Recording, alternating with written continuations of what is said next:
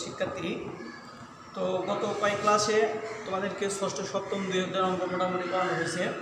আজকে অষ্টম অধ্যায়ের অঙ্ক ধরব। দীর্ঘমেয়াদী বিনিয়োগ সিদ্ধান্ত।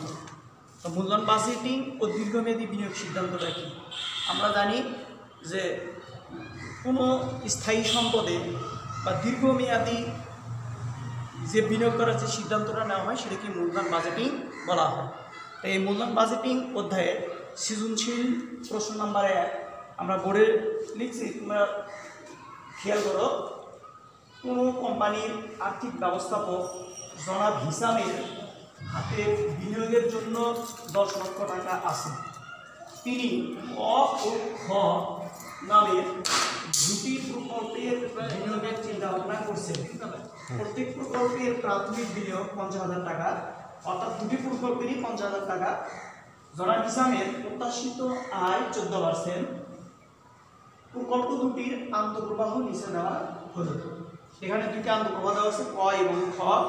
ক প্রকল্পের প্রথম বছরে পঁচিশ হাজার, দ্বিতীয় বছরেও পঁচিশ হাজার, তৃতীয় বছরেও পঁচিশ হাজার। খ প্রকল্পের প্রথম বছরে উনত্রিশ হাজার টাকা, দ্বিতীয় বছরে দুই হাজার টাকা, তৃতীয় বছরে ছাব্বিশ হাজার টাকা। এবার আসি ক প্রকল্পটির বর্তমান মূল্য আট হাজার একচল্লিশ টাকা। জনাব হিসাবে প্রকল্প মূল্যায়নে বার্তাকৃত নগদ প্রবাহ পদ্ধতি ব্যবহার করেন।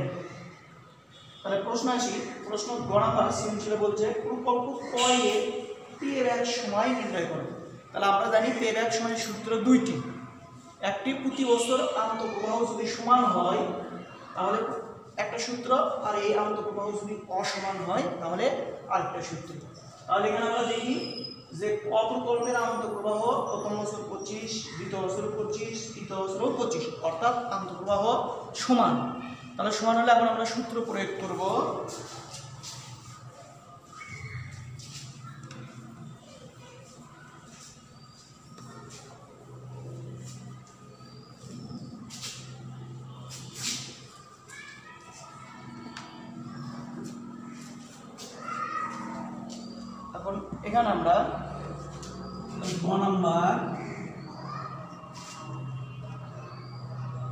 পে ব্যাক সময়।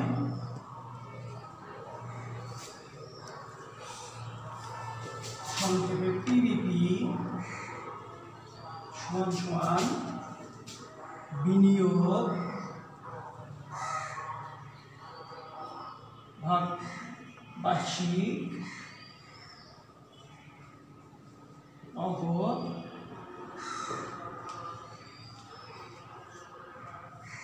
আন্তঃপ্রবাহ যেহেতু প্রত্যেক বছর আন্তঃপ্রবাহ সমান।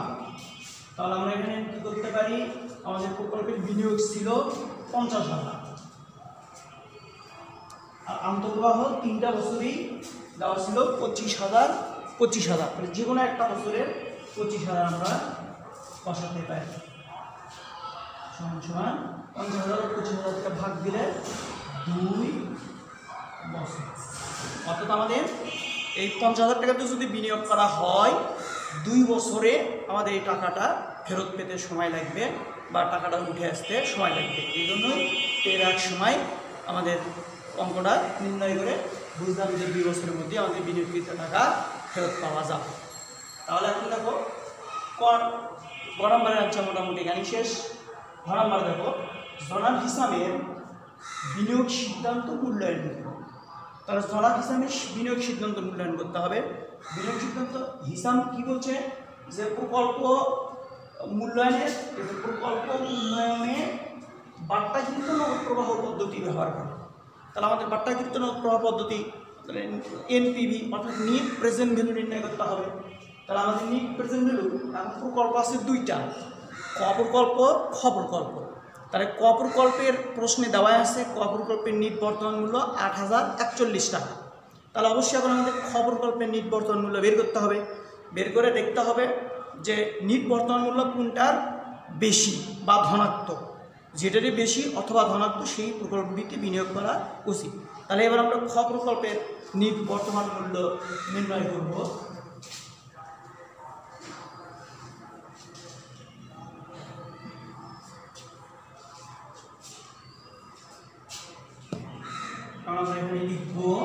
ছ নাম্বার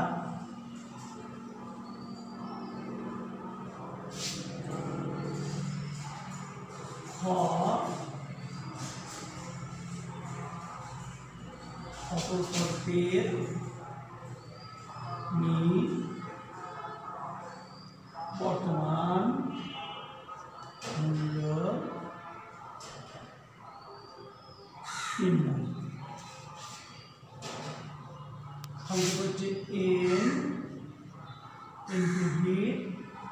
সমান সমান CF one one plus k power n plus CF two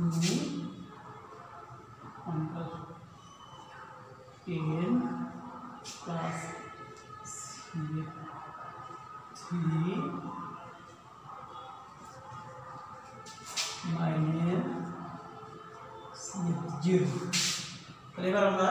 এখানে তোমরা সূত্র দেখো যে এটা হচ্ছে নিট বর্তমানমূলক সূত্র দুইটা আছে। একটা হচ্ছে আন্তঃপ্রবাহ যদি প্রতি বছর সমান হয় আর একটা আন্তঃপ্রবাহ অসমান হয়। তাহলে এখানে অঙ্কে আমাদের আন্তঃপ্রবাহ ছিল খ প্রকল্পের অসমান। উনত্রিশ হাজার পাঁচশো, দ্বিতীয় বছরে বিশ হাজার চারশো, তৃতীয় বছরে ছাব্বিশ হাজার। অসমান। অসমানের সূত্রটা আমরা ইউজ করলাম সিএফ ওয়ান মানে ক্যাশ ফলো মানে ক্যাশ ফলো নগদ, আন্তঃপ্রবাহ, প্রথম বছরে ওয়ান প্লাস কে কেতে কস্ট মানে মূলধন ব্যয় ওয়ান মানে প্রথম বছরে যোগ সিএফ টু মানে দ্বিতীয় বছরের আন্তঃপ্রবাহ ভাগ ওয়ান প্লাস কে মানে মূলধন ব্যয়, আবার দ্বিতীয় বছরের এন প্লাস সিএফ থ্রি মানে ক্যাশ ফ্লো তৃতীয় বছরে, তৃতীয় বছরের নগদ অন্তর্প্রবাহ মাইনাস সিএফ জিরো, অর্থাৎ নগদ ক্যাশ ফলো আউটফ্লো অর্থাৎ নগদ বহিঃপ্রবাহ আমরা মাইনাস করব, অর্থাৎ বিনিয়োগ, বিনিয়োগটাকেই আমরা নগদ বহিঃপ্রবাহ বলতে পারি। তাহলে আমাদের অঙ্কে বিনিয়োগ ছিল পঞ্চাশ হাজার। এবার আমরা মানটা বসাবো। উনত্রিশ হাজার পাঁচশো উনত্রিশ হাজার পাঁচশো ওয়ান প্লাস আমাদের কে এর মান? অর্থাৎ মূলধন ব্যয়। এই যে প্রত্যাশিত আয় হারটাকেই এখানে আমরা মূলধন ব্যয় হিসেবে ইউজ করব। চোদ্দ পার্সেন্ট তার মানে পয়েন্ট চোদ্দ। এবার দ্বিতীয় বছরের বিশ হাজার চারশো বিশ হাজার চারশো ওয়ান প্লাস পয়েন্ট চোদ্দ দুই তৃতীয় বছরে ছাব্বিশ হাজার ওয়ান প্লাস পয়েন্ট মাইনাস আমাদের নগদ বহি প্রবাহ অর্থাৎ বিনিয়োগ, পঞ্চাশ। এবার দেখো, আমরা এবার একটু উপরে উনত্রিশ হাজার পাঁচশো, প্রথমে আমরা একবারে করে নিব ক্যালকুলেটারে যে one plus point one four power এক, একবার পাওয়ার দিয়ে নিব। ওয়ান পয়েন্ট ওয়ান ফোর যোগ তিরিশ হাজার চারশো এবার আমরা দিব one plus point one four power দুই ওয়ান পয়েন্ট দুই nine nine four plus one point one four one plus point one four power three আটচল্লিশ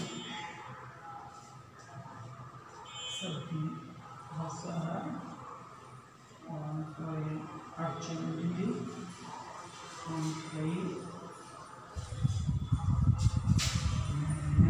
পঞ্চাশ এবার আমরা এবার ভাগ দিব উনত্রিশ হাজার পাঁচশো ভাগ ওয়ান পয়েন্ট ওয়ান ফোর তাহলে আমাদের পঁচিশ হাজার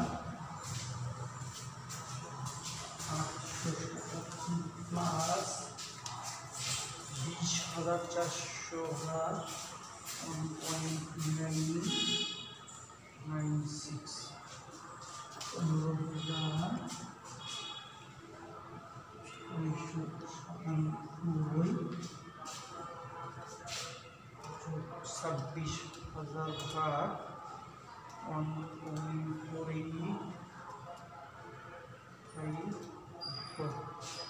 সতেরো হাজার পাঁচশো উনপঞ্চাশ মানে পঞ্চাশ হাজার আবার মাইনাসটা মাইনাস করছি তাহলে প্রথমে যোগ করি পঁচিশ হাজার আটশো সাতাত্তর যোগ পনেরো হাজার ছয়শো সাতানব্বই যোগ সতেরো হাজার পাঁচশো উনপঞ্চাশ। তিনভাবে যোগ করে উনিশ হাজার উনিশ একশো তিরিশ মাইনাস বিনিয়োগ পঞ্চাশ হাজার। তাহলে আমাদের আসছে তাহলে উনিশ হাজার একশো তেইশ হচ্ছে পঞ্চাশ হাজার বাদ দিলে নয় হাজার একশো তিরিশ টাকা। তাহলে ছাত্রছাত্রীরা এখন দেখো যে এটা আমাদের এনপিবি বেরোলো অর্থাৎ নিট বর্তমান মূল্য বেরোলো নয় হাজার একশো তেইশ। অর্থাৎ এটা হচ্ছে পজিটিভ তাহলে আমাদের কপর কল্পের প্রশ্নে দেওয়াই ছিল, আমাদের এনপিবি দেওয়া ছিল আট হাজার একচল্লিশ টাকা, অর্থাৎ দুটাই ধনাত্মক। তাহলে কোম্পানি দুটিতেই যদি পর্যাপ্ত পরিমাণ টাকা থাকে, তাহলে দুটিতেই বিনিয়োগ করলে লাভবান হয় সেটা আমরা মন্তব্য লিখব। আমরা উপরি মন্তব্যটা লিখে দিই।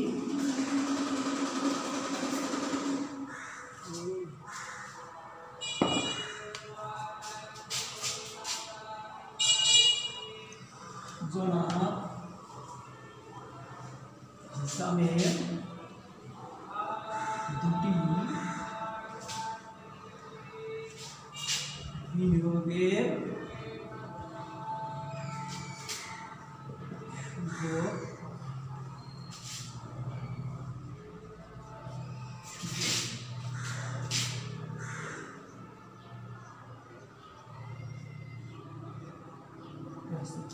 তাহলে আমাদের পরিশেষে বোঝা যাচ্ছে দুটি যেহেতু বর্তমান মূল্য ধনাত্মক, তাহলে দুটি প্রকল্পতে বিনিয়োগের সুযোগ রয়েছে। কোম্পানি দুটিতেও বিনিয়োগ করতে পারে, অর্থাৎ যে কোনো একটিতেও বিনিয়োগ করতে পারে। তো প্রিয় ছাত্রছাত্রীরা, এখন যেহেতু একটা প্রশ্ন শেষ হলো, এখন আমি আরেকটা প্রশ্ন। তারা এখন দেখো ছাত্রছাত্রীরা, যেহেতু আমি সৃজনশীল নাম্বারে এক প্রশ্ন করলাম এখন সেম অনুরূপ দুই নম্বর অঙ্কটা তোমরা এভাবে করবা, তবে শোনো, এখানে যেহেতু জনাব হিসামের এখানে টাকা ছিল কত? এখানে টাকা ছিল বিনিয়োগের এক লক্ষ টাকা। এই এক লক্ষ টাকা দুটি প্রকল্প পঞ্চাশ হাজার পঞ্চাশ হাজার করে সমান করে ভাগ করে দেওয়া হয়েছে। কথা বুঝছ কি? তাহলে এখানে দেখো যে এই টাকা যদি দুটোতেই যদি বিনিয়োগ করার সুযোগ থাকে, যেহেতু দুটোই ধনাত্মক অ্যান্সার, তাহলে দুটোতেই বিনিয়োগ করা লাভবান হবে।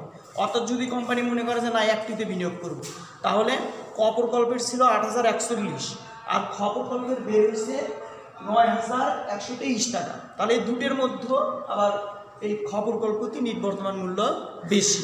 তাহলে এই দুটোর ভিতরে খ প্রকল্পেই বিনিয়োগ করলে কোম্পানি বেশি লাভবান হবে। কিন্তু আসলে কোম্পানি কিন্তু দুটোতেই বিনিয়োগ করার সুযোগ আছে। দুটোই যদি অ্যান্সার ধনাত্মক, দুটোতেই বিনিয়োগ করলে কোম্পানি লাভবান হবে। তো প্রিয় ছাত্রছাত্রীরা, তোমরা অঙ্কটা দেখবা, কারও কোনো সমস্যা হলে অবশ্যই আমাকে ফোন দিবা। ফোন দিলেও আমি তোমাদেরকে শিখে দেবো সেখানে যে হচ্ছে কার কী সমস্যা আছে। তো ইনশাল্লাহ বাসায় বসতে তোমরা সবাই অঙ্ক করবা। সবাই ভালো থাকো।